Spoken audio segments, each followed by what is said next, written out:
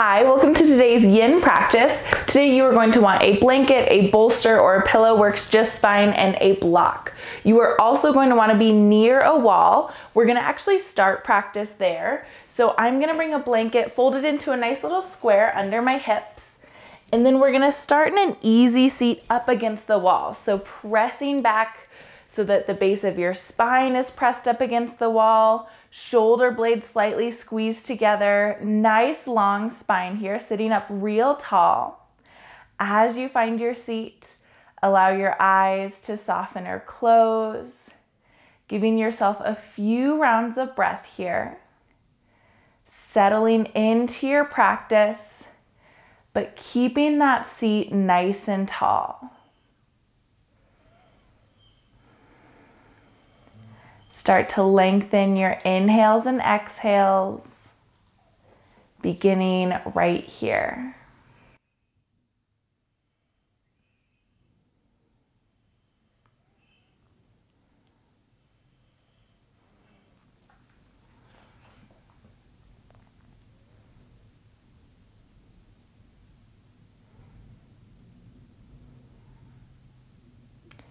You can keep your hands right on your lap or bring one hand to your heart, one hand to your belly. We'll start to incorporate three part breath here. You can exhale to prepare, pressing out all of that air. Then on an inhale, fill your belly, feel your ribs, fill up by your collarbone, Exhale from the collarbone, the ribs, the belly. Inhale, belly, ribs, collarbone. Exhale, collarbone, ribs, belly. Continuing with these three part breaths at a pace that feels good for you. Not concerning yourself too much if you can't feel three distinct parts yet. We're working towards that, but focusing first on filling the torso completely with air and then releasing to press all of that air out. Go a few more rounds at your pace.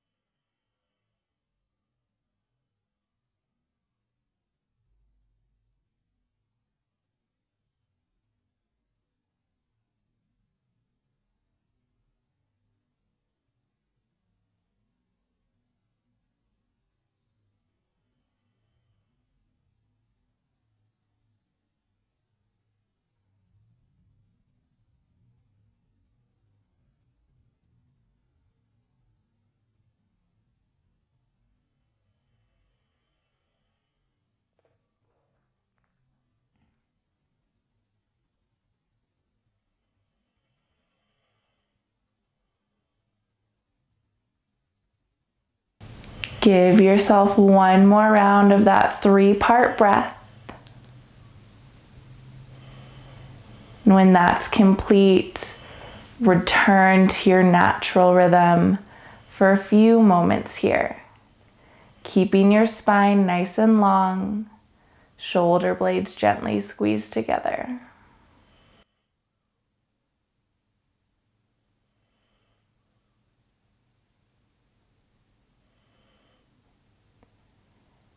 Adding in a little movement here. Bring your right ear towards your right shoulder, stretching out that side of the neck. On an inhale, gaze down towards your lap, stretching out the back of the neck. Exhale, left ear, left shoulder. Inhale, look down at your lap. Exhale, right ear, right shoulder. So a little half circle here. Inhales to look down at your lap. Exhale, ear to shoulder.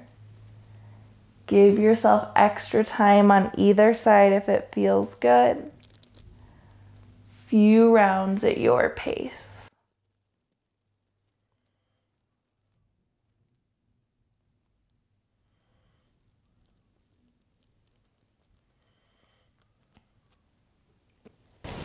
Even out on either side. Pause next time you're looking down at your lap. On an inhale, lift your gaze all the way up towards the sky, opening the front of that throat. Exhale, bring your neck back to neutral, looking forward. Breathe in. Breathe out eyes can softly flutter open as we make our way to our next shape here. Soles of the feet come together, keeping your back up against the wall. Hands can gently press into your knees, and press might not even be the right term here. Just a little weight here. Elbows stay close to the side body. Heels as close to your body as feels good, but remember, we're holding at 70%. So we're sitting up nice and tall, finding that 70% edge. When you're ready, eyes soften or close.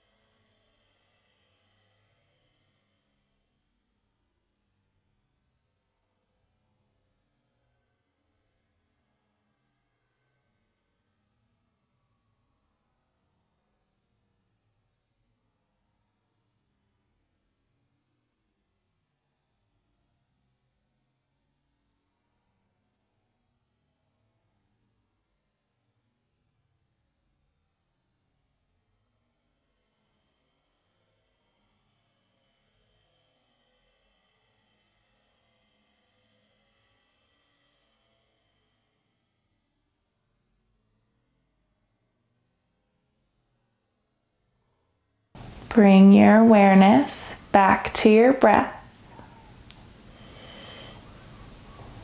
When you're ready, gently shifting out of this shape. It's a subtle shift. Pull your heels away from your body for more of a diamond shape, giving yourself as much space here as feels good. And then fold forward. Now, I like to bring a block here at its highest setting and a bolster here. So I can kind of rest forward like this. Some bodies, you might bring your forehead to rest on that bolster whatever feels best for you today. Give yourself a little time to explore, and it may even feel best with no props. Today, that's what's feeling best for me. Again, space here, heels pull away from the body, knees stay heavy towards the floor, and just the base of your spine now is pressed up against the wall. Everything else hangs heavy. Breathe here.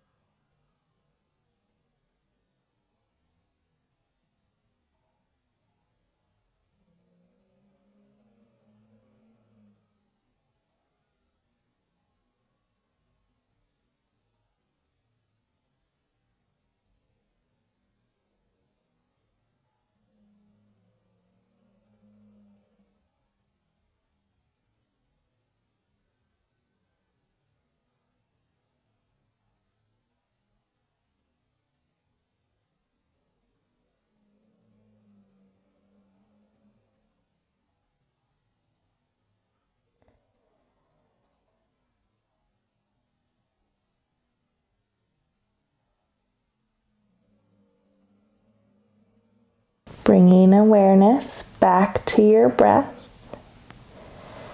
When you're ready, gently press your upper body out of the shape.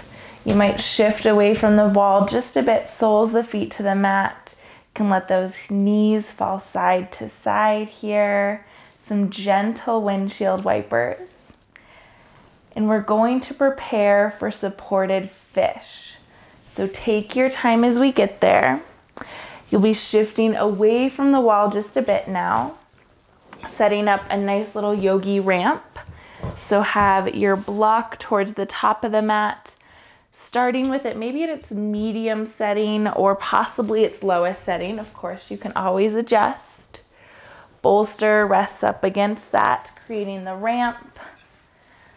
I'm going to unfold the blanket for maximum coziness to lay over my low body.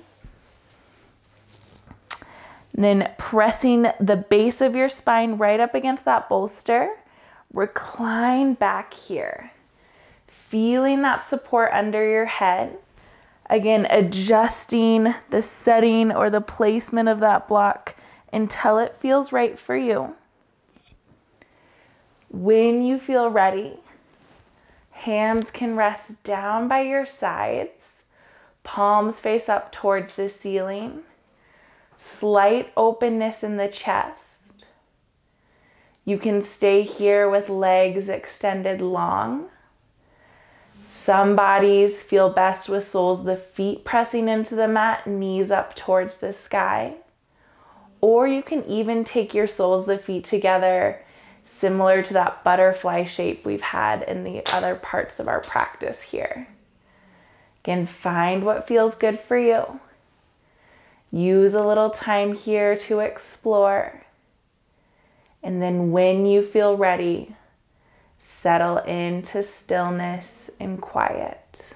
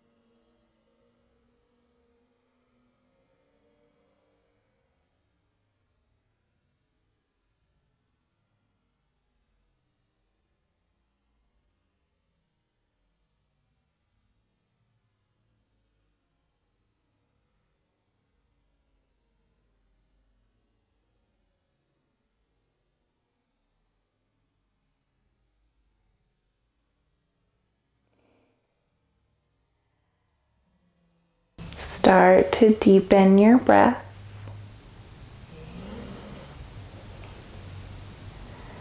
Taking your time here, you can get out of this shape in one of two ways.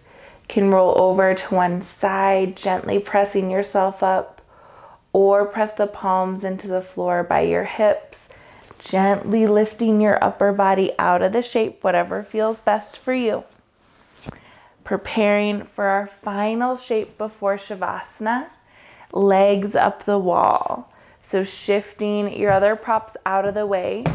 You may want your blanket under your hips, similar to when we started an easy seat. I typically don't love the blanket here, but try it out. Find what works for your body. Bring one hip right up towards the wall. And then as you lower down, extend your legs up towards the ceiling. Adjusting here. You might have to shift, shift your hips just a bit away from the wall, giving yourself more space if it feels uncomfortable, almost like your legs are hyperextended. Pull the hips away from the wall, give yourself some more space. You might play with that blanket under your hips and when you're ready, hands can rest on belly, open out towards the sides, or even behind the head like you're reclined at the beach. Take your time, settle into stillness.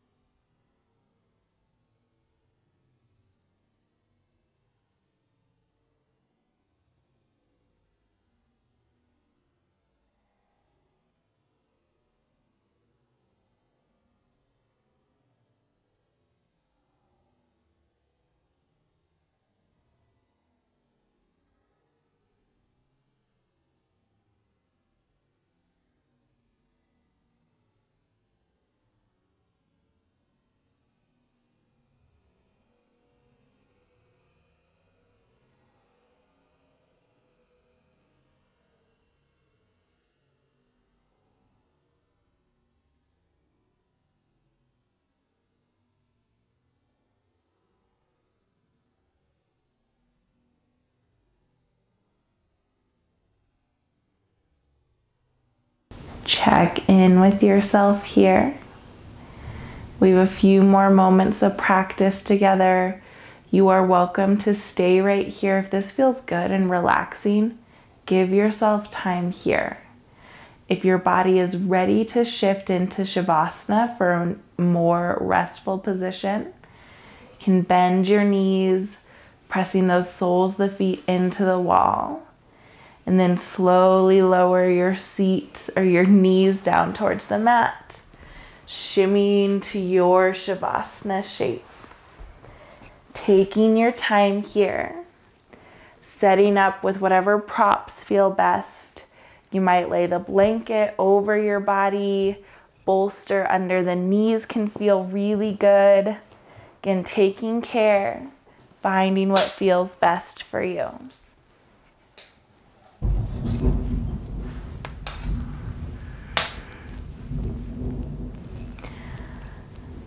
Once you've settled in, let your eyes soften or close, knowing your only job is to breathe, and I'll let you know when it's time to come out.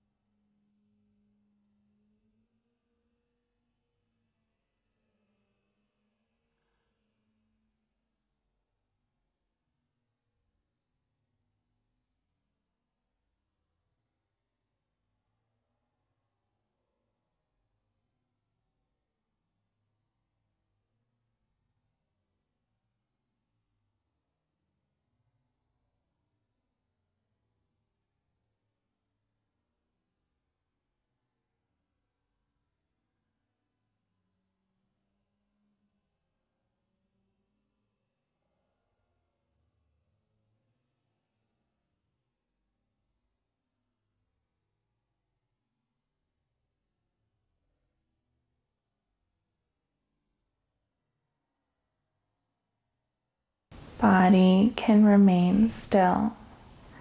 If you'd like more time wherever you are, allow yourself a little more time there.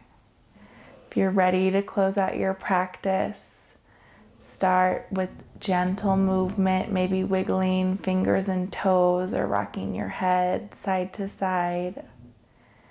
Deepen those inhales and exhales.